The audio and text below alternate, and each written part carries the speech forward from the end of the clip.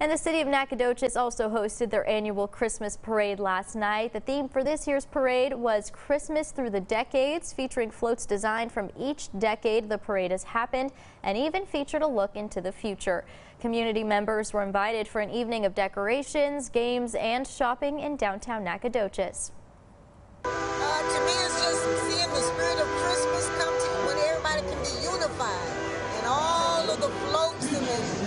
Expression on the children's face when they see all the pretty floats, not only children, but the grown-ups too. Due to the drought, fireworks were not displayed at this year's event, but that did not stop the community from coming out and having a good time.